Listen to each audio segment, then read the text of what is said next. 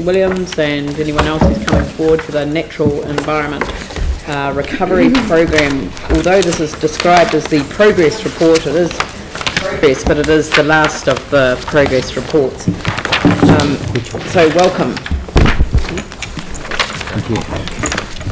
Yes, this is the, uh, the last formal report under the Natural Environment Recovery Program, and would like to acknowledge and thank Chrissy Williams for leadership of that, uh, that work. Um, it's very appreciated by uh, myself and uh, colleagues from the other councils. However, this is not the last time that you'll obviously hear about the progress of various pieces of work that council are doing, um, because it has been decided that the Natural Environment Recovery Program, in a, in a sense, will be uh, reported through the uh, Urban Development Strategy Implementation Committee. So you'll get updates via that. But of course, a lot of the work in here that is uh, in the chart are key pieces of work that you'll get reported on um, through other reports that come to council in time. So just uh, want to pass over to Chrissy to give you more detail about uh, the work as a whole.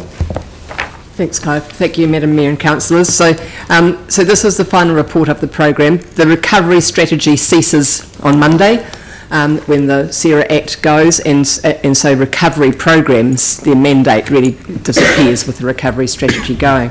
But as Clive has said, um, the recommendation came from the partnership group, the technical advisory group, that's gone through to the chief executives and last Friday to the Urban Development Strategy Implementation Committee, that we continue with a partnership group. Um, it may be slightly different membership, but um, across the councils with Ngāi Tahu Department of Conservation and the community um, and the Canterbury District Health Board. The, um, and that, that group developed uh, some kind of um, schedule similar to, similar to what you have to, to, to do regular reports. Probably thinking around six months, but currently we've been doing three a year, so two to three a year reports that summarise what each of the partners are doing in each of the areas. So it won't have the earthquake focus, but it will still be quite similar to what you see. You'll notice in this um, six-monthly report you have in front of you, we've changed the format slightly in anticipation of this being the last, that the, the right-hand column um, is, has comments from the different partners about some of the actions that are obviously continuing after that gives us some guidance of, of what it, that, that partnership group could, um, could focus on. The other thing that's not reported in here is that since um, this report was written, Environment Canterbury's offered to facilitate that, that group to start with, so to at least get that first meeting up and going and to get the discussion happening. So that's anticipated. So um, just, I'm happy to take questions about the report that you have and also about your view of, of that partnership group, group continuing. Um, we do plan to do try and get some media coverage um, that, that reflects on the, what the NERP has achieved over the last three years, well, the four years actually, and um, and also how the how the, the lessons we've had from the NERP can can continue, especially with the um, cooperation across the partners. Chrissy, well, let me start because I wanted to thank you personally for uh, the work that you've done, the leadership that you've shown in this area. Um, the, there are those of us who felt that the natural environment deserved to be a recovery plan under the Act as opposed to a program, um, but that was not to be. Uh, and but despite that, um, you have turned this into a, a practical um, program of uh, implementation. So uh, making sure that the work's being done uh, is actually more important than what it's called and the reporting framework for it. So these programs don't work without um, partners being committed. So the council working in collaboration with ECAN, working in collaboration uh, with uh, Ngāi Tahu um, and uh, other partners, and and obviously with other other fora that, um, like the water management strategy. Um, that's what's going to make this work. I know that uh, councillors pretty much universally were um, devastated when they heard that this was going to be the last report.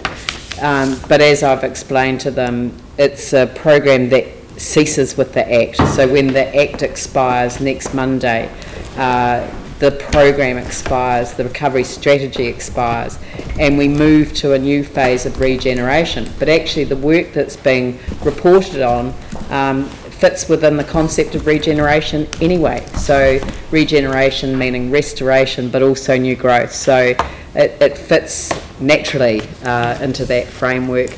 And I, for one, and I know that I would have universal support around the table to say that we would want to have the new reporting framework um, to make sure that this work still was prioritised um, across the, the different agencies. So that's uh, that's all I would say. It's not a question. It's just a, an overarching comment. Phil. Um, thanks for the report, Chrissy. Your not last report in that, in effect. Um, and I guess um, you can perhaps comment too about how, at an organisational level, the partnerships um, or the partnership will continue. That's the first thing I'd ask you to comment on. The other thing I, I particularly wanted to ask you about the um, with ECAN's role in um, air pollution and the section on that, which where there's comment about um, um, monitoring of dust management processes. If you might comment on that, and also um, which areas um, ECAN are targeting in terms of um, yeah, I guess areas that are at higher risk of increased increased air pollution. Um, so the first question was how, how do we see the group acting or working? Very similar to the technical advisory group, but probably meeting less often. The technical advisory group was meeting monthly um, until just this last year when it's been every second month. Um, the, under the urban development strategy, you've got you know you've got the, the sort of the three layers of governors and chief executives and um, a staff group, but there's also other groups under there. There's a planning managers group, there's a transport group, and so we see the natural environment group sitting sort of similar to that. So it's reporting up through that governance, and then and that those the reports can also go to individual partners, which we've been doing with the NERP. So it's it's very very similar. Um, I mean, Clive's been there pretty much from the, the start, and whether he's the council rep on that group will be up to, up to the council to decide. But it's having someone within the organi- within the group that's got good networks and, co- and connections with, throughout the, the, the partner organisation, which Clive certainly has with City Council. So um, that, that's the intention. So it's almost just continuing as it is, with the, probably with a diff- different name. Um, the reporting is, I mean, when you when you look through the project titles, earthquake doesn't appear in many of them. You know, and I think that's what you were saying, Madam Mayor, is that um, you know the the reporting will probably end up being quite similar. We may combine some of them, and, and obviously water will be high up there. Um, as far as air quality goes, I think what, what we need to recognise is that there's existing programs and existing projects and works within each of the partners that are doing this work, and that's been the same around air for this for the NERP. So the air quality, the, the uh, Canterbury Air Regional Plan, you have to think of what that acronym's not, um, is is, is just about, I mean, it's just through its hearing stage, it's a- a- about to become operative in the next few months, and that deals with PM10 and PMT 2.5, no matter what the source. So that's, that's where the discussion should be had around, around dust and about dust monitoring. There's work being done that, the winter program, which I understand your committee had a report on quite, or had a presentation from um, one of our commissioners on um, quite recently. And I know there's work happening with the Lyttelton community about their concerns about air quality with the increase in, in truck movement through through the um, town and and the trucks with um, the demolition waste that's been going to, the reclamation. So, you know, there's work works happening and there's a cross um, council discussions and work hap happening on that. But that's that's where the responsibility lies is under that that, that regional plan, that regional air plan, and um, that's where it should continue. So this group would get comments from that group, but they wouldn't be actively involved in, in the work of it. So. Thanks, Chrissy. Yanni.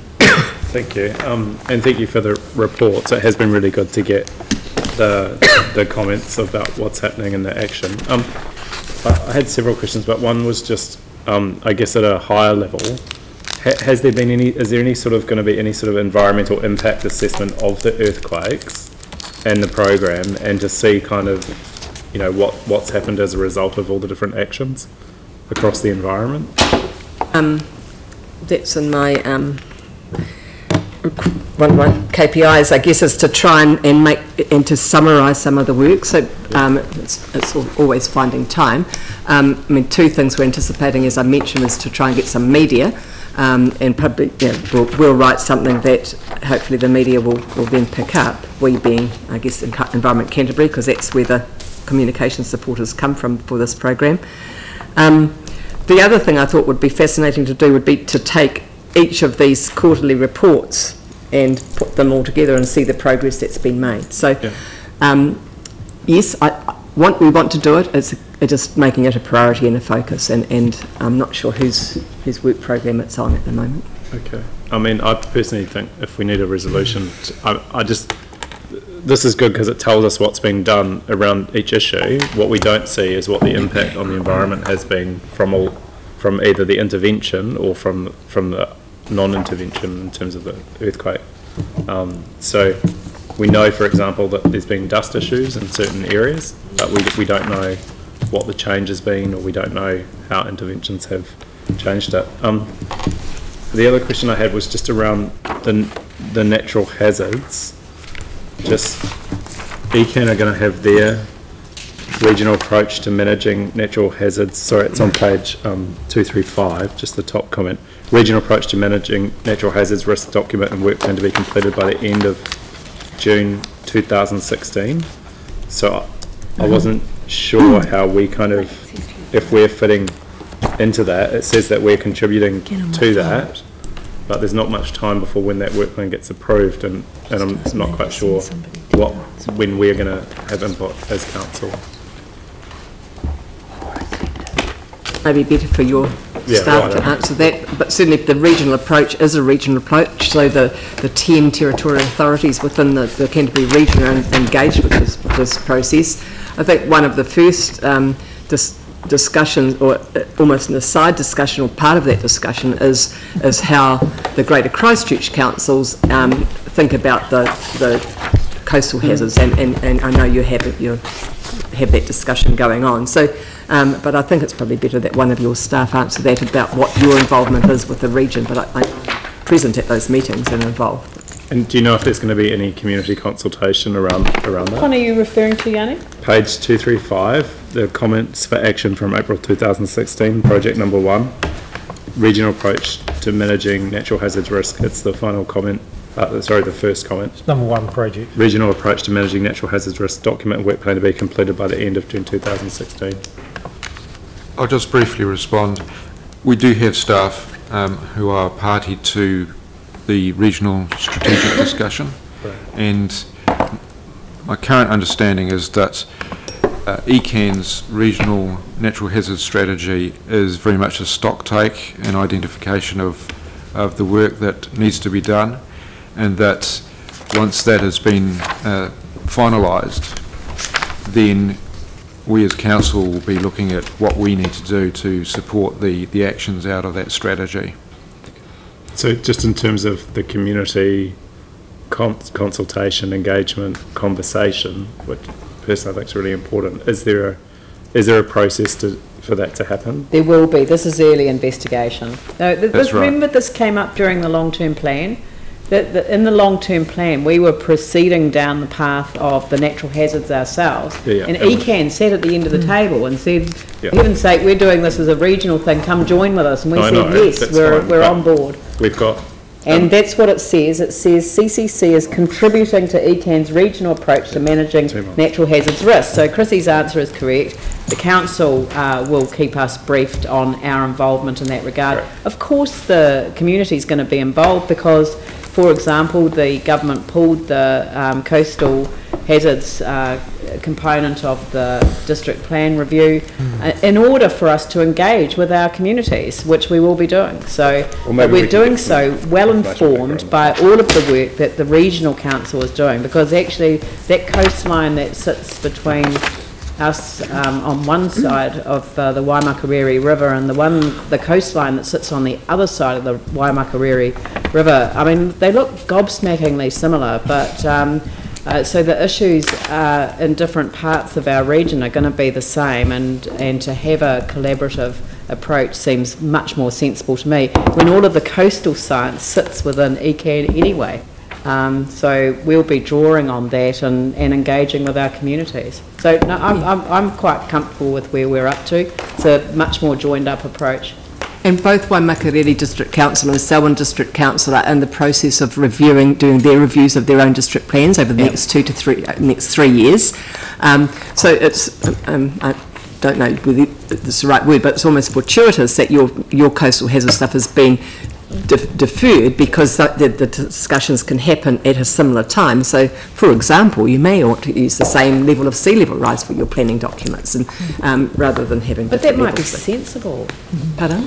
Oh, sorry. I don't know they, they say that sarcasm is the lowest form of wit, so I've just Highest form proved of it. intelligence, uh, So is it maybe possible then for us to get a copy of the draft framework and action plan that, that ECAN are We're, doing? we're not going to do that off the back of this report, Yanni. This is the final fine, but report just- of the Natural Environment Recovery Program. I'm sure that the um, ITI committee can take up that as an issue um, i- i- if they want to. Um, Glenn? Yeah, thank you. A couple of questions. Also wish to uh, acknowledge Chrissy's work and the updates we've received uh, regularly before. We've had Chrissy as well, they've been good. Just my first questions over uh, project three in terms of the future placement of the infrastructure in the residential red zone. We submitted our options to CERA nearly 18 months ago. So just wanting to check now from Monday going forward how that'll work. No, no, no, this is not the NERP. It's not the Natural But it's within Environment that- Recovery Program. It's not CERA. We haven't got CERA at the end. No, I know, but this work is identified in project three. Yes, but it's not, you- uh, the report on what's happening is not an opportunity to ask people that are not involved in the actual delivery of the program the answer to a question about delivery. So again, we can deal with that in a different environment, Okay, not, well, I was not asking on about- the NERP report. Right, the organisational structure going forwards. The, the NERP report is not an opportunity to ask that question. Do I ask about low emission burners then too, or, or not? That, I'd like to ask about that. But this, th- this was a recovery program that was set up under the Canterbury Earthquake Recovery Right. Act. So, you know, there, there are um, an, an, a, a number of issues that we're having reported on. So it's really more about process rather than about the specific details of the work of the programs that sit underneath it, because the delivery agencies are different. And I think you also need, need to remember is that I'm, I'm not here representing Environment Canterbury. No. I'm employed in this for the Jointly. Natural Environment Recovery Program under the partnership. So Yeah. you and Waimakariri and Selwyn um, all contribute to my, my employment. So, you know, I'm not reporting as an ECAN representative, which is Yeah. where the air, air stuff sits, Yeah. Yeah. including Totally appreciate and get that. Yeah, Um, okay. Uh, Pauline? Oh, look, I just had a, a question about um, number 10, just wondering if you can shed a bit of light on the, um, the weeds along the Avon River, Otakaro and adjacent land still reported as a problem. Now, this is from the community. So the community, you're gathering um, the number of times people report in and, and say, well, it's unkempt and it's weedy, and they probably think it's because we're not doing the maintenance because of the earthquake. But there is a certain a number of weeds that are meant to be there, is that correct, on the riverbanks? They're not necessarily meant to be pristine? Because aren't It they? depends how you define weed. If we're talking about weeds that are recognised under pest strategies, I wouldn't have thought we'd want them. And, and I mean, gunnera is one of them that's certainly in the lower Avon. And yellow flag iris is something that the, the City Council and Environment Canterbury have been working on for a long time, and it's very, very relevant. But the, the, this blackberry down the, you know, the river. So I'm not sure there's any weeds you'd want to be there. It's just, it's, it's just council's priority about um, developing, working on those weeds until we know what's happening. But do you think that sometimes people think if the grass is long around the, I don't think- weeds? Not the people that would have reported this. Okay, right, thank you. All right, so I will, um, has somebody moved and uh, Phil, seconded by Tim? Put that motion. All those in favour say aye. Aye. Opposed say no. That's carried. Thank you very much. Thank you. Thank you. Thanks for your, we look forward to you returning in the next iteration. Um, okay,